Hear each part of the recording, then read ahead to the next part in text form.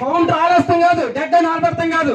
ఇదే రోజు ఈ స్థలాన్ని నిమిత్తం ఆరు లక్షల రూపాయలు తినేసిన ఒకడు పదిహేను లక్షలు తినేసారని ఒకడు ఈ రోజు చెప్తారు మీరు ట్వంటీ ఫోర్ అవర్స్ టైం ఇచ్చారు మాకు డెడ్ లేదు మీకు పదిహేను రోజులు టైం ఇస్తే ఇందులో ఏ ఒక్క ప్రూఫ్ అని నిరూపిస్తే కాబట్టి మీరు ఉరి చేసిపోతావు కాస్త.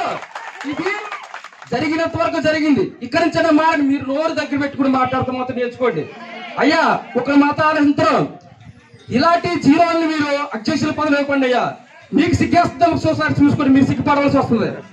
ఇంతమంది పెద్దలు ఉండగా అతను అధ్యక్ష పదవి అడుగుతుంటే మీరే మీరు కుమిలిపోతూ ఉంటారు మాకు తెలిసిన సంగతే.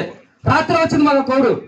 మీరు బాధపడద్దు అటువంటి వాళ్ళని దూరంగా పెడితే ఈ జన్మలో కాకపోతే వచ్చే జన్మలో పదవి వస్తారేమో కొంచెం ఆలస్యం ఆలోచించారు ఏంటి? దయచేసి మీరు గమనించండి.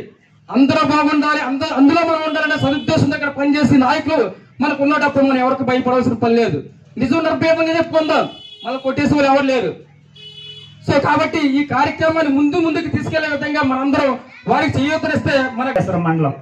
మరి నిన్న తెలుగు తమ్ముళ్ళు పేరవరం గ్రామంలో తెచ్చిపోయి మరి రెండు వేల పద్నాలుగు నుంచి రెండు వేల పంతొమ్మిది వరకు తెలుగుదేశం పార్టీ అధికారంలో ఉన్నప్పుడు మీరు బాగా గమనించండి మన అమరావతిలో భూ కుంభకోణం జరిగింది.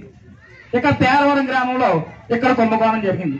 అది ఏ విధంగా జరుగుతుందంటే ఇలా రెండు వందల పదహారు పట్టాలకు గాను ఒక్కొక్క పట్టాకి రెండు వేల నుంచి మూడు వేలు నాలుగు వేలు ఐదు వేలు కూడా ఇచ్చుకున్న పరిస్థితి ఉంది.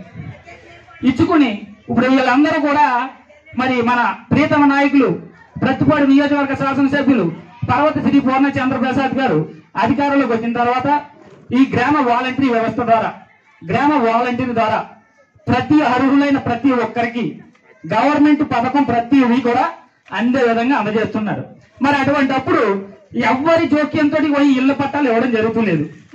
అర్హులైన ప్రతి ఒక్కరికి ఇళ్ళ పట్టా ఇస్తున్నారు. అటువంటప్పుడు రెండు వేల పద్నాలుగు నుంచి రెండు వేల పంతొమ్మిది దాకా ఇవ్వని పట్టాలు సరిగా ఎన్నికల కాడ వచ్చేటప్పటికి తెలుగు తమ్ములు పంచడం జరిగింది. అది ఎందుకంటే అది ఎలక్షన్ కూడా అమల్లో ఉంటది. మేము రెండు వేలు మూడు వేలు నాలుగు వేలు తీసుకున్నాం.